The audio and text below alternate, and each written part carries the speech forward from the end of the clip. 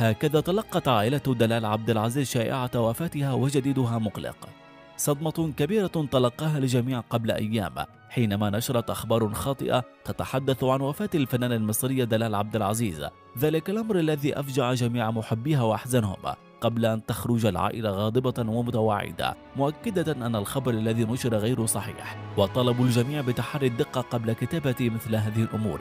وفي برنامجه التلفزيوني خرج الإعلامي رامي رضوان زوج الفنانة دنيا سمير غانم مساء الثلاثاء ليتحدث عما جرى في الساعات الأولى من صباح السبت الماضي مشيرا إلى كونهم كأسرة للفنانة دلال عبد العزيز قاموا بتقسيم اليوم إلى فترات عمل بحيث يكون هناك مرافق لدلال عبد العزيز في المستشفى. كما أكد أنه على مدار اليوم بأكمله. وفي ذلك التوقيت تسلم هو مهام المرافقة من زوجته دنيا سمير غانم التي خلدت إلى النوم.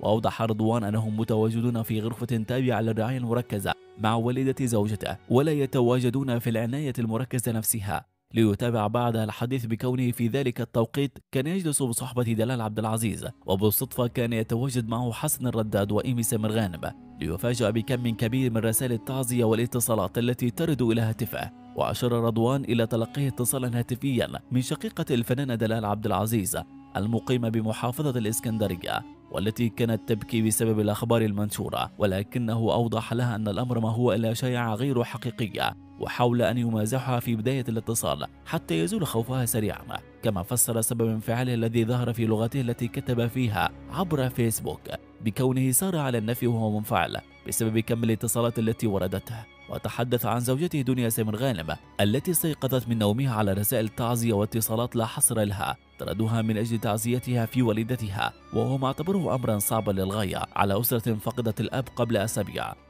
وتطرق رضوان إلى حالة دلال عبد العزيز الصحية مؤكدا أنهم منذ ثلاثة أشهر يعيشون وقتا صعبا. الوضع الصحي صعب مش سهل. هكذا أجاب رضوان بشكل صريح على السؤال الخاص بالوضع الصحي لدلال عبد العزيز. وعما إذا كان هناك تحسن أكد أنه لا يستطيع قول هذا لأن التحسن لا بد له من استقرار وهو أمر لا يحدث بسبب حدوث مفاجآت غير سعيدة.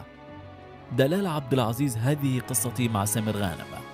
الفنانة دلال عبد العزيز صاحبة الابتسامة الجميلة استطاعت من خلال الفن إسعاد الكثير من جمهورها وتقول سمير عذبني أربع سنوات وأنا بجري وراه وكل أصحابه قالوا لي ما بتجوزش ولكن النهاية كانت جميلة وأضافت دلال دائما متفاهمين أنا وسميرة عمرنا ما اتخانقنا فهو دائما بني آدم طيب ومن بيت طيب ومتربي وعارف يعني إيه بيت وأسرة. وتابعت كان كل الممثلين الكبار اللي أنا اشتغلت معاهم وكنا متراهنين أنا وسميرة إنها تجوز سمير غانم وجورج سيدهم اللي هو عشرة عمره وصاحبه قال لي اسأليني أنا سمير ما بيتجوزش ولا